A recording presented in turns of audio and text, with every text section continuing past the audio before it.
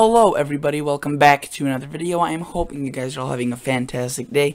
Before I get into this video, I would quickly like to uh, tell you guys that this actually is not uh, over-exaggerated or clickbait. Um, uh, this actually could be a rare occurrence in, for August at least. I mean, some of the models are hinting at some ridiculously chilly temperatures for August. I mean, possibly record lows.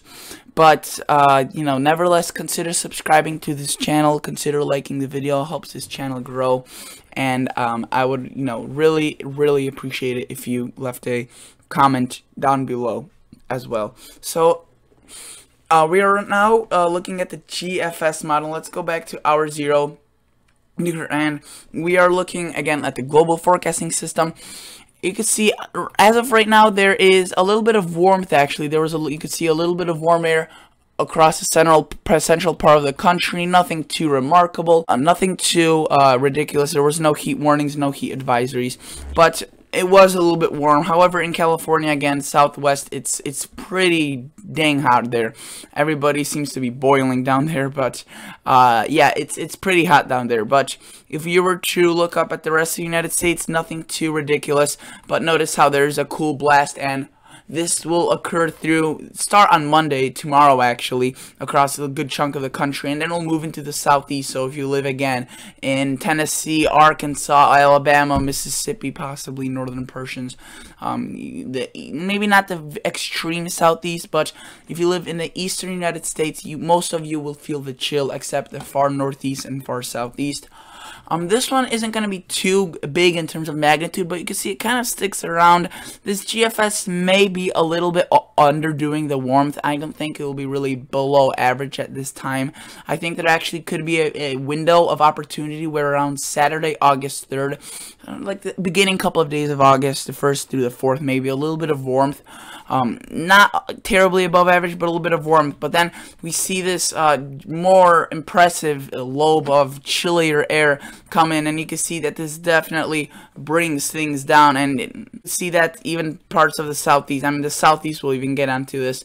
Um, uh, again, maybe not the extreme southeast, meaning maybe not Georgia and Florida, but most of the southeast, like Tennessee, North Carolina, parts of South Carolina, northern portions of Alabama, most of Mississippi, Arkansas, Louisiana, Oklahoma and northern Texas could all be uh, looking for a pretty chilly, uh, uh, pretty chilly uh, Friday and Thursday. You could see it reaches there, but that's not it. You could see as soon as it may seem like this one's moving away, we have another one coming and This is Saturday, August 10th now. You could see that it's still very chilly. Look at that. Some of those anomalies are fairly significant for you to go. They here that's negative 12 to negative 60, negative 20 easily. Then you may seem it may seem like it starts moderating, but also notice how there's a second second batch over here, and that's as far as it goes. So notice how the GFS just continuously puts out wave after wave of cold and chilly air. And some of this will downright be pretty pretty chilly. If we were to look at a 2 meter temperature shaded, and let's just go say from hour zero just to go from you know hour one and take you so right now again there was a little bit of warmth. Uh frankly some temperatures were above uh, above average but notice nothing too terribly um hot. Obviously in the south um it was um it was seasonable in terms of that it was around average maybe a bit warmer but uh nothing unbearable. No heat waves Notice how this is now Monday. We get a little bit of a chill, 70s and 60s across the north during the nights. 40s start appearing across North Dakota and Minnesota. That is completely, um, that is completely at this time of the year normal to see 40s and 50s during the night across northern Minnesota, uh, North Dakota, and Wisconsin. And if we were to go even further, notice how this day, Wednesday, July 31st, it's pretty darn chilly across much of the Midwest and Northeast 60s, 60s, 70s, uh, some uh, 80s, and then a little bit warmer and actually fairly warm towards California. Um, that's like the only region, the Southwest, that will be Nevada, uh, Arizona, Utah, and California. The kind of like the the southwest states will be above average in a considerable way. Otherwise, you could see during the night 50s, 40s again.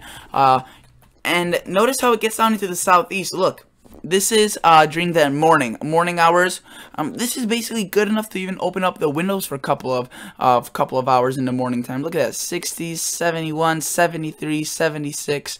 Um, maybe you know if the humidity is a little bit high, that's a little bit too much, but definitely around Kentucky, Tennessee, 60s, almost 50s. Definitely uh, cool enough to open up the windows for at least a few hours before, you know, it warms up during the day. But no, look at that, uh, 90s, that's warm, but then look at that uh, much chillier, un unseasonably cool for these areas. And as soon as it seems like you know it, oh, it's it's dwindling, no more, the heat's coming back. You have another pretty big blast right there. And just notice how it never really bounced back into the 80s across these areas. It literally stays at 70 um, for a good chunk of this country, maybe some 80s towards the south, but generally below average, really below average over here, and also pretty above average for the southwest. You gotta point that out. And I won't be making a separate video, but I just want to tell you guys that if you live in the southwest or even parts of the west, it seems like this pattern change will not affect you. It seems California, Arizona, around the uh, around the border with Arizona and California, it seems like. Uh, it will it will be it will be ruthless. It will be very very warm, and that uh, is uh, basically bound to happen at this point. Um, that's like the only area again that will be unseasonably warm. Look at that. Uh, very I mean look at look at all those greens. You usually don't see this typically in August unless again it's something occurs like this where it's way below average. These anomalies are ridiculously cold for this time of the year. And uh, some records could be set. And notice look at that cold front right there 60s all the way down into Arkansas um, uh, Kentucky maybe not 60s but uh, lower 70s 60s up towards the northeast. And look at look at that right there. Um, again this is not the US but uh, by I think so this is British Columbia this is Alberta and this is Saskatchewan. So across these provinces look at that 40s uh, almost uh there was one i think 39 i saw. No but 40 41 uh so almost uh you know almost basically almost a a uh all, very all, eight degrees away from a freeze which is definitely not uh, which is definitely not a lot and it won't be that cold here uh, definitely not but it you know it will get unseasonably chilly. You could see during the nights, um, possibly the upper 40s across North Dakota. That's you know that's you know it doesn't usually um take that long for those areas to see cold, but it's gonna be definitely be uh, accelerated this year, and uh, you could see that across. Uh, the mountains as well pretty chilly um, but you know the mountains are usually chillier. But notice how towards a long range forecast towards a longer period it seems like California southwest may cool off just a bit but the southeast may warm up just a tad. But I mean I'm telling you guys that if you live in the southeast this is gonna be the only area it's gonna be something like this okay? The cooler air. So I would say a good portion of this anywhere you live in there pretty good chance you'll be pretty, uh, be cool for the next several weeks. If you live, I would say in this region, this region, there's a 50-50, maybe colder slash warmer on some days. And if you live south of that, um, you know, you you probably will be in the warmer side of things, above average, frankly. But uh, definitely the southeast. If you live in the very very far southeast, North Carolina, South Carolina, I don't think that you know you'll be in the hot the whole time. Notice how during the during the night the temperatures get they get seasonable for 60s 70s. That's you know that's pretty nice in my opinion. But again, it, it seems like it, they could things could start warming up for them towards the end of the forecasting period. And if you were to look at uh, the the the Climate Prediction Center 8 to 14 day outlook August 5th through 11th. They're also showing uh, what I basically outlined for you. Below average temperatures for a good chunk, neutral, so like a 50-50, and then they're showing a little bit above average for Florida, parts extreme southeast, maybe like the Cape Cod of Massachusetts, um, Long Island, and then parts of Texas, Arizona, and then the west. Otherwise, the the central part of the country seems uh, to be rather chilly and more of a focus, especially along Indiana, Ohio, and Illinois. So definitely, sorry about that. So definitely some uh, some you know alarming anomalies that I would just like to, you know, to bring attention to. So now I want to quickly bring attention to the European model. The European model uh, honestly has been all over the place. It has been once showing cool, once warm. Now it's showing warm again, or, or at least warmer than the GFS. But I want to explain to you why uh, this this isn't right. So I, would like to bring attention now to the European model. So if you look at what they're showing right now, there's a cool off right there across Monday, Tuesday, and we can tell that basically there's a trough. The middle balls, millibars are uh, focusing down and then up. The cooler air is rushed in.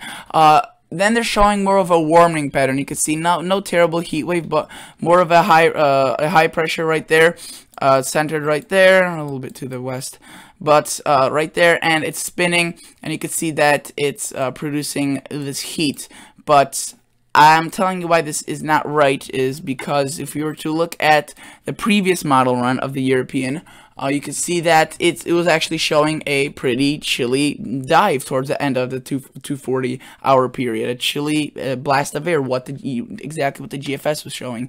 If you look at the 12Z, the model run before that, they were showing something even further drastic. And that's what I'm saying, guys, that uh, you got to look at consistency. Consistency is a fairly important part of, uh, of these models. And the European model right now is kind of all over the place. That's why the Climate Prediction Center, if they were to look at the European model, th this would not be like the way it is. So um, that's why this is below average because they're more towards leaning towards the GFS and as well as I am. Uh, if you were to look at the ensembles, this is not the just GFS, the GEFS ensembles are also showing some uh, some great uh, anomalies of cooler temperatures. Look at that potential trough building right there. That's pretty significant. If this were to actually form, this would again bring very chilly temperatures around the first to two weeks of August. So uh, that's basically it, guys. I just wanted to give you a quick update. Hopefully you enjoyed. Hope you learned something new. And I'll catch you all guys on the next episode. See ya.